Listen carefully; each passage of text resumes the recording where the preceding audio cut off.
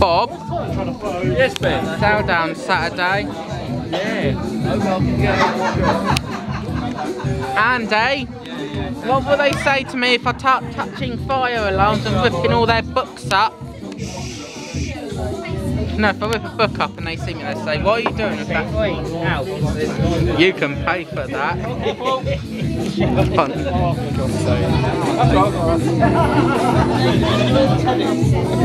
Fun.